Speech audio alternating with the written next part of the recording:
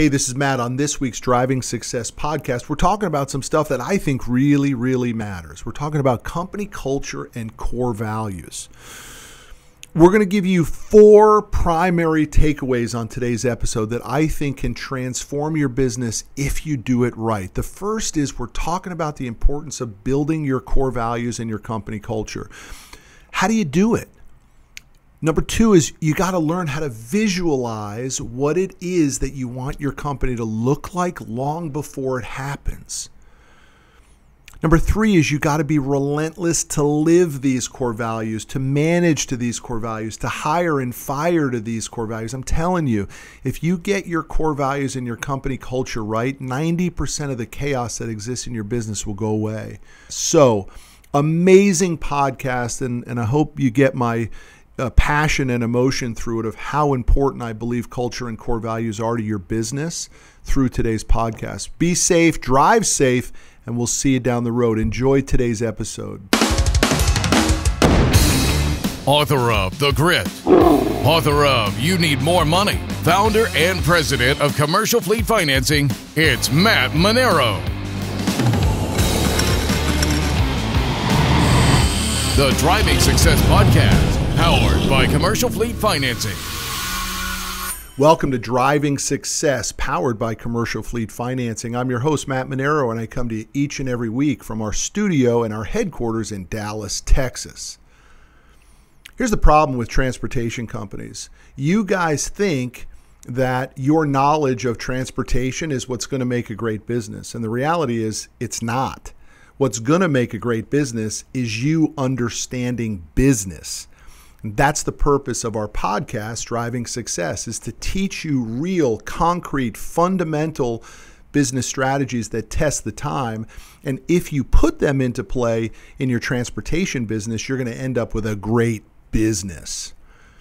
Today, I'm talking about something that is absolutely vital, and I didn't understand it early in my career, and it hurt us here at Commercial Fleet. If we had learned the importance of company culture and core values earlier, we would have been a better company earlier. We were just scared. We just needed revenue. We just had to survive. And you survive in business by generating revenue. And what happens when you chase revenue is you give up company culture and you give up core values. You trade the most important thing in business for revenue. And I'm here to tell you almost 25 years later, since we started Commercial Fleet, that we made a bad trade. We shouldn't have traded core values and chased revenue for as long as we did. Now that we're on the other side of the revenue scale, where we have revenue and repeat clients and, and stability in the business, we are a much better company because we focused on culture and core values. Let me tell you why core values and culture mean so much. I believe that core values and culture fix 90% of the chaos that exists in your business. When you lock down your culture and your core values, your, your hiring problems go away. Your firing problems go away. Your managing problems go away. Your branding issues go away. Your core values and your culture get you off the hamster wheel that 99% of the 25 million small business owners in America are on. You know the hamster wheel I'm talking about it's like, what fire am I putting out today? Who's going to let me down today? What problem is going to start the minute I turn the key and go into the office? And I lived that stuff, man, every day. And it wasn't for a year, it was for probably 15 of our 25 years in business. I lived like that. What a terrible way to live for you individually, but it's not just you. You know who else suffers? Your employees suffer. Your clients suffer. Your vendors suffer. And if we want to get real straight to the point on today's podcast, your family suffers. Man, you're not present with your spouse and you're not present with your children. You're freaking scared.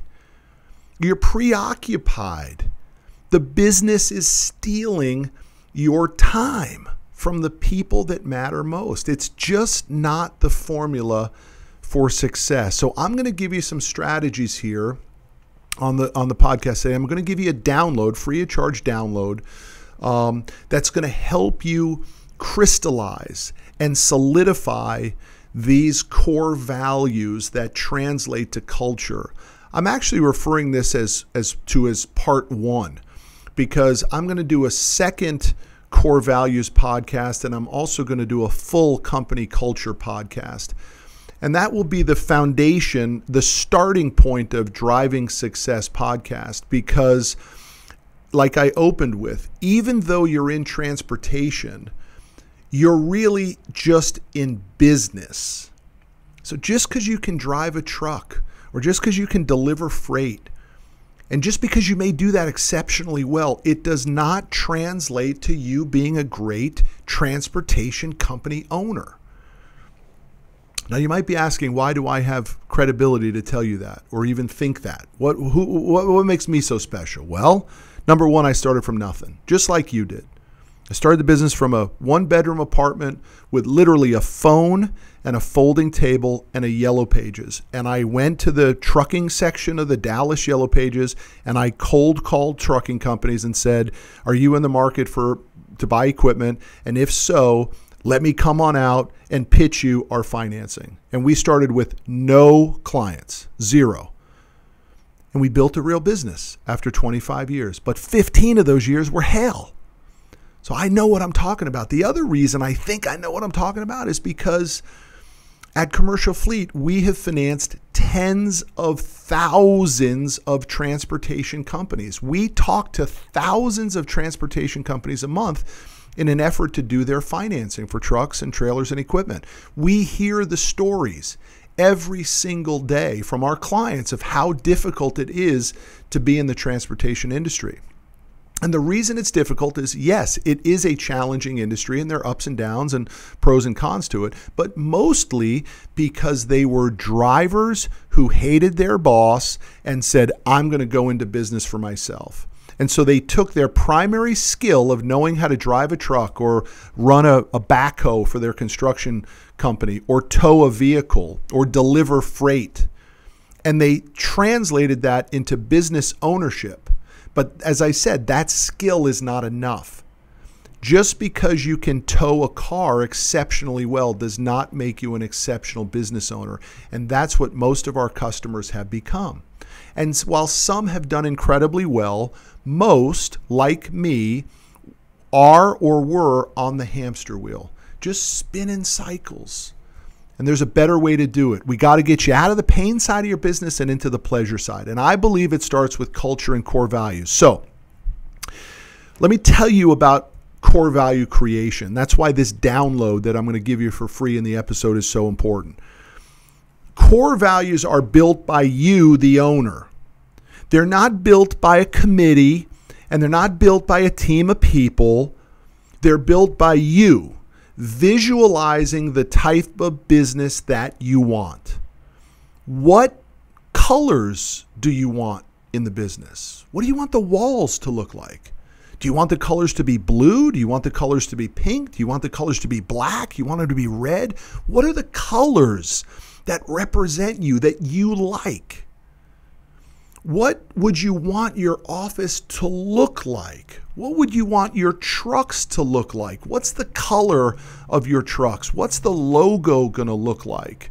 What's the the uniforms going to look like? It literally starts with you visualizing everything that you want your business to be long before your business happens or you get there.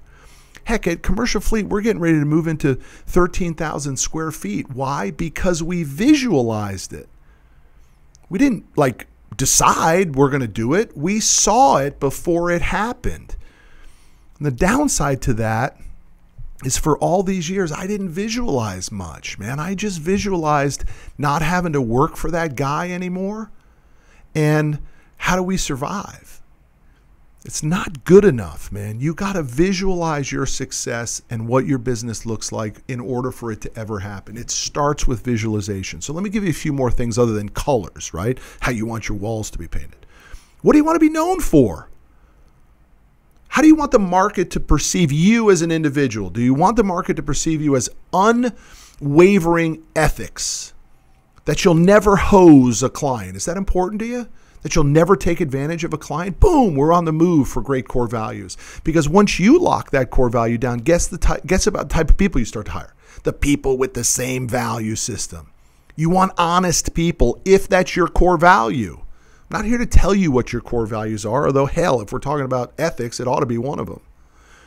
My point is when you start to lock down how you want to be perceived, how you want to look, how you want people to act, you will begin to create the foundation of the core values and the company culture. And then you're going to be relentless to it. You're going to beat the drum every day and you're going to hire to those core values. You're going to fire to those core values. You're going to manage to those core values. I'll give you one here at Commercial Fleet. And probably on another podcast, I'll actually give you, you can see all of the commercial fleet core values. But one of them is called personal happiness. We are here because we want to be here. That's the that's the core value, core value number two in our office. Personal happiness, we are here because we want to be here. If that's one of our core values, it think of how it opens the door for us to talk. And it just happened to me this morning. I'm walking in, one of the the the uh, staff, one of our staff was sitting out front of the office and she looked like she was having a bad day. This is 8 8:45 this morning I'm walking in. She looked like she's having a bad day. Now you walk past your employees and you know they're having a good day or a bad day. She looked like she's having a bad day and it didn't look like it was work related. Core value number two in our office is personal happiness. I get to stop and say to her, You look unhappy today. Is everything okay? And she says, um, I just needed to, I just needed a minute to myself. Okay, take as long as you need. Is there anything I can help you with? No, I'm, I'm fine, she said. Are you sure? Is there anything I can help you with? Anything. Doesn't have to be business related, I said. Is there anything I can help you with? Is your freaking husband beating you? Can I help you with that? Is do you not have money for rent? Can I help you with that? What is it that you need? Why do I have the ability to talk like that to an employee? Because core value number two is personal happiness. I have the freedom because of the core value to have that conversation. Now, do I think that she says, Man, this guy's prying in my business. He doesn't have any right to ask me that question. Maybe. But she'd have a lot of accuracy and truth to say that if it wasn't a core value of the organization. But if it's a core value of the organization, everyone in the organization should know that personal happiness matters. If she said to me, I just have to take the day off, I would have said, Go tell your boss and take the day off because core value number two matters to us. Go get yourself happy. That's an extreme example of it. And you might say, well, I can't keep all my drivers happy and I can't keep my staff happy. I get it. You're not your job isn't to make them happy. Your job is to just help them be happy. It's not the company's job to make someone turn someone from unhappy to happy, but it's certainly not the company's job to get in the way of someone's happiness because they don't know what the hell they're doing. Okay, I digressed. Core values need to be no more than four. That's my opinion. No more than four core values. They start with a word. So that's the download that we're giving you today. You're going to go to the link in this podcast and you're going to download a series of words if this matters to you, and it should. And you're just going to read the words and then put a check mark next to the word that resonates with you. Maybe it's not happiness. Maybe it's revenue. Maybe if it's profit. Maybe it's notoriety. Maybe it's influence. It really doesn't matter what words you pick. I just want you to go through this list of words and put a check mark next to the words that matter to you. And when you do the exercise, you may end up with 12 or 15 words that have a check next to it. And then your job is to is to screen that, to cull that list and get it down to 4. Four words that absolutely represent you and your business. Now, if you have partners, you need to be doing this with your partners this isn't something that that if you've got two partners you do on your own and on Monday you say, "Hey guys, I've just created our core values." No, if you've got partners, you've got to put this together. But if you don't have any partners, By the way, if you don't have any employees, it's the best time to create your core values. It's a heck of a lot harder to do it after you've got employees, which is what we had to do here at Commercial Fleet. We put the, the business through a thing called the torch, and I'm sure I'll talk more about that on later podcasts because it was a big deal. We had to go back to core values after we had a real business, and that was tough. So it doesn't matter whether you're an established business, a veteran business, a, a startup, you need to get these things dialed in. So you're going to pick four. It starts with the word. You're going to go through this quick exercise by doing the download if you want it. And then you're going to get those words from whatever they started at 12, 15, 20 words. You're going to get it down to four.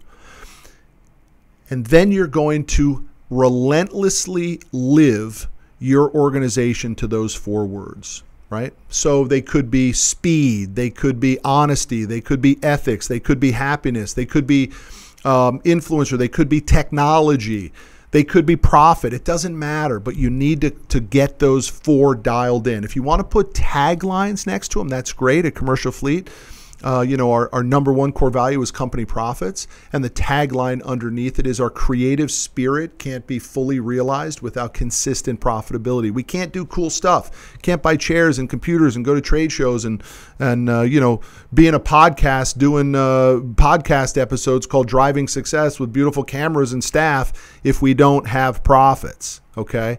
You can easily put a tagline next to the words. That begins to solidify it. But they need to be on the walls. They need to be hired to. You need to hire people and walk them through your core values and talk to them. And then you need to be relentless to them because it's the downside to core values. Most people in most organizations don't even know what the freaking core values are. They're just some some plaque on a wall that nobody lives. And while we don't have it perfect at Commercial Fleet, I think people understand it. They certainly have an idea that when a tough conversation is happening, it's connected to the core values. Um, and then you have to have this clear understanding of what you will tolerate and what you will not tolerate.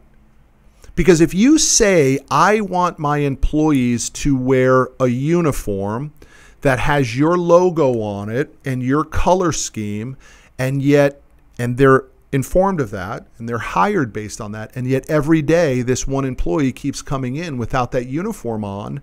If you don't have that component to the core value you have a hard time having that discussion. But if it's part of the core value that says you know um, professionalism you get to go to that employee and say, hey, listen, professionalism is one of our core values. And when you show up in shorts and open toe shoes, that's a problem for us. Our clients don't look at us as professional. What if you're in the towing business and you say, when we put that car on the back of the tow truck, not only are we going to put chains to hold it down, but we're going to also strap the wheels. We're going to do a second version of safety and professionalism so that when we show up to the customer's location and drop the vehicle off, the customer sees that we both chained it and we strapped the wheels down.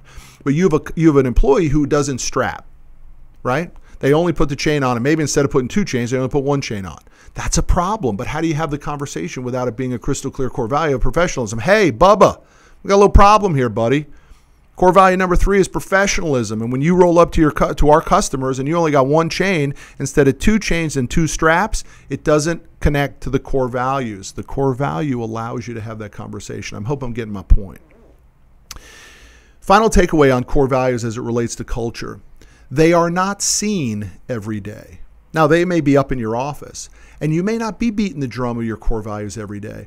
But when there's a problem, the core values give you the opening, the foundation to have the tough conversation with the person that needs to have that conversation. You find out that somebody, um, uh, let's just say it's it's company profits, and uh, you find out that someone towed a car on the side, and instead of that 75 bucks going into your being billed through the company for your company profits and revenue, they actually pinched the 75 bucks and put it in their pocket and it never showed up in your system. That's a problem, right? Most owners would go crazy over that. It's pretty simple if your core value is company profits. Hey, Bubba, you didn't contribute to our company profits. In fact, you stole. That's a problem, buddy. You're out of here versus what I guarantee you've done is you've said, hey, I, I, can't talk to Bubba about that. I mean, Bubba's our best driver. he he's got it. We got to keep Bubba. He you know he brings in a lot of revenue for us, and we need Bubba's revenue, so we better keep him around, even though Bubba just stole from you and violated one of your core values. That's the beauty of culture and core values. Now for your insider tip. In this link, I'm giving you the words, the core value step one exercise, which is the picking of these words Go ahead and download that. Do the episode, uh, do the exercise. Tune in to the next episode where we'll take the core value and culture discussion to the next level.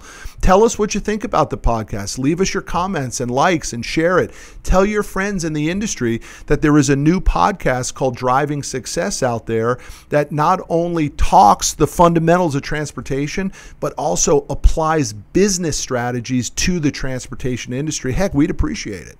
And this podcast is powered by commercial fleet financing. So if you need financing for trucks and trailers or equipment, go to commercialfleetfinancing.com, go to CFF Nationwide, it takes you to the same place, or call our office at 972 247 8447. We will see you down the road. Thanks for watching Driving Success, powered by Commercial Fleet Financing.